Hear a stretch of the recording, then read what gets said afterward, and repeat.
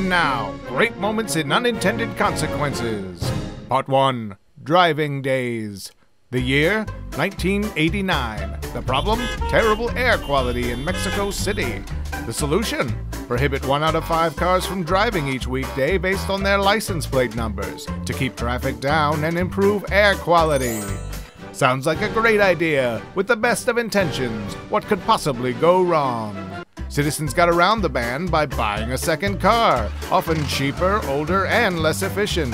Having more crappier cars in circulation failed to fix the problem, and according to a number of studies, air pollution actually increased after the restrictions were imposed. But not to worry, politicians saw the error of their ways and in 2008 expanded the program to Saturdays. Yes, really. Part 2 Boat Taxes. The year 1773. The problem? Britain needs money. The solution? Collect port and lighthouse fees on merchant ships based on their length and width.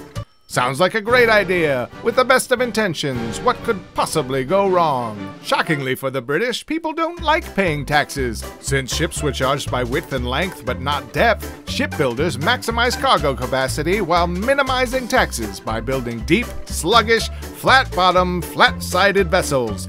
A recipe for instability. So while Britain's navy was ruling the seas, their unsightly and unmanageable merchant ships were a laughingstock. But on the plus side, the taxman can't reach you on the bottom of the ocean. Part 3 Flying the Empty Skies. The year 2020. The problem? A global pandemic straining the American airline industry. The solution? A $60 billion bailout to rescue airlines and maintain continuity of service.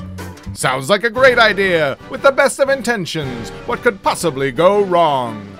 With concerns over COVID, air passenger rates plummeted as much as 95%. But since airlines were mandated to maintain a minimum level of service to qualify for the emergency government funding, airlines were forced to continue flying planes, even if there was no one on board.